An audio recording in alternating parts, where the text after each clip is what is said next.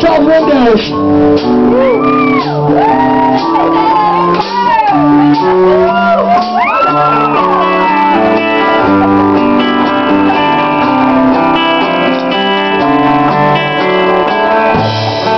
We'll try to rain out, we'll try.